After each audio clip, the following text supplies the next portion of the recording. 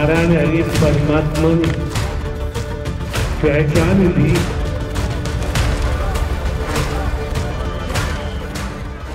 रौब कायम करने के लिए इतना तामझाम फिर सूरजपाल का हाथरस वाला समागम कैसे बना मौत का दूसरा नाम?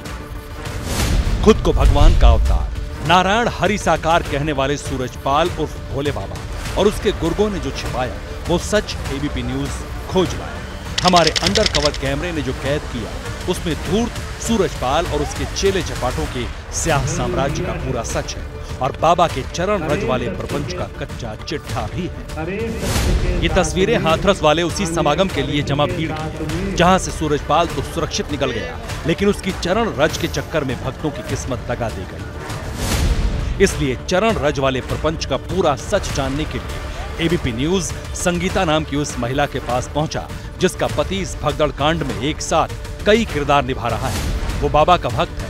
हाथरस वाले समागम के आयोजकों में से एक है। भगदड़ कांड का आरोपी है और अब सलाखों के पीछे भी है। नाम है मुकेश कुमार, जिसकी पत्नी अब बाबा और उसके भगदड़ कांड से जुड़े बड़े राज खोल रही है। बेशक कमेटी वालों का नाम है तो उन्होंने तो कुछ किया तो है नहीं। उन्होंने तो अब ये करवाया, अब ये क्या पता था कि ऐसा हो जाएगा सर ये तो जनता की गलती है। जनता उनके पीछे भागी है, गाड़ियों के पीछे। ये जो बता रहे कि धूल हाँ हाँ की धूल हाँ गाड़ी की रसगुल ले ले। उनकी चढ़ों की तो नहीं ले पाओगे गाड़ी की तो ले पाओगे। उसका क्या होगा धूल का? पता नहीं क्या करें सर जनता बस माथे से लगाएँगे हम बस वो हो जाएँगे। माथे से लगाने से क्या होता है? नहीं जनता पागल है उनके पीछे भागी अब जनता के चक्कर में लोग संगीता बाबा को पाक साफ़ बता रही है। चरण रज के प्रपंच को नकार रही है लेकिन उसकी बातों से सत्संग वाले मृत्युलोक की कई पोल पट्टी खुल गई। ये बात साफ़ हो गई कि पुलिस को पंडाल में घुसने से रोककर यहाँ सेवादारों ने सारी कमान संभाल रखी। तो है। यहाँ से ही लग गए थे सकलदारा से सेवादार। कब से जुड़े हुए थे आप लोग? हम नहीं जुड़े बस यहीं से ही यहीं गए बस हम पहले से नहीं नाम कैसे आप जो पूरी लिस्ट है अठहत्तर लोग तो नाम इनका कैसे आया? पता नहीं किसने लिखवा दिया उन्होंने यानी बाबा महफूज रहे इसके लिए पूरी बिसात पहले ही बिछा ली गई थी। सेवादारों को पता था चरण रज के लिए ऐसी दौड़ लगेगी लेकिन उन्हें सिर्फ़ बाबा की फ़िक्र भक्तों की रत्ती भर चिंता नहीं।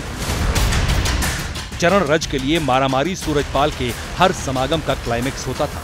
हर समागम में चरण रज के लिए भोले भाले भक्तों की भीड़ उमड़ती रहती थी। बाबा के हाथरस वाले शो में भी यही होने वाला था। ये बात आयोजक और उनके घर वालों को अच्छी तरह पता थी। सेवादारों को पता थी। हैरत की बात है कि पुलिस और उसके खुफिया तंत्र को इसकी कोई खबर नहीं थी। पता होता कि वो भीड़ भागती है। तो उसको चरण पहले वहीं ना रखवा देते पहले छोड़ के जा पहले। हमें नहीं आवाज़ कभी कि पुलिस को नहीं आइडिया था। हमें का मतलब पुलिस को आइडिया नहीं था कि इस तरह के अनुयायी हैं इस तरह भक्त हैं।